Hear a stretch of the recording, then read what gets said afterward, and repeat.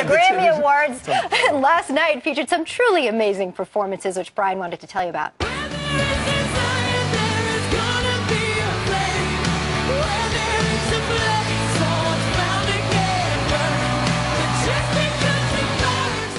Pink is going to get dizzy there. Uh, Michael Tammero is out in Los Angeles with the inside scoop on what went down in Grammy Town. Good morning to you, Michael.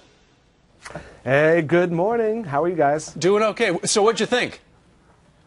Well, it was a big night last night. You know, the big winners were The Robots Ruled Music's biggest night. That just sounds so strange to say it, but that's what they are. Daft Punk, the, the French techno duo, took home the two top prizes last night for Best Album and Best Record. The other big winner last night was uh, uh, rap duo Macklemore and Lewis uh, won Best uh, New Artist and took home three other additional Grammys for rap. You know, and kudos to them because they did so without being signed to a label. They did it independently, and it was really fan driven, and they've been really putting on a, a kind of a, a, tolerant face to a, a genre of music, rap and hip hop, that has been anything but.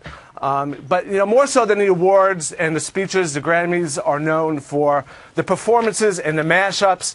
And last night there were plenty of them between Beyonce and Jay Z opening up and then also later on Macklemore and Lewis and Madonna. And also these guys, Chicago, they were invited by Robin Thicke to come on and perform Blurred Lines for them. It's their first appearance at the Grammys in 22 years, and this is what they had to say. We caught up with them on the red carpet.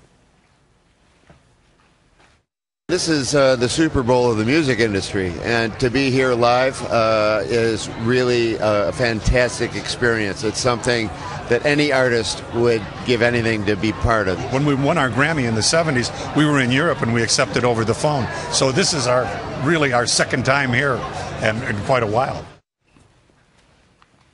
it's because they're always traveling. Yeah. they're too busy to go to the Grammys.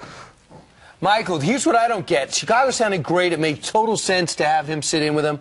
I don't understand how Ringo Starr and Paul McCartney get together and they don't sing a Beatles song. Why, why do we? Why did you allow well, here's that? The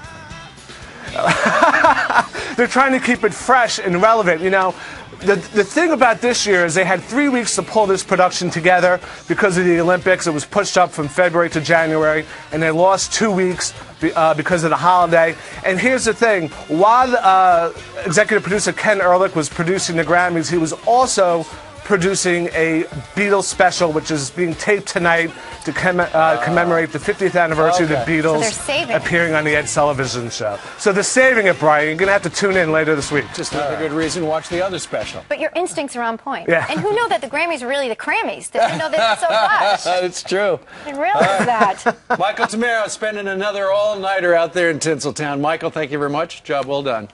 Just for you guys. Yeah. You're a good man. Thanks, Michael.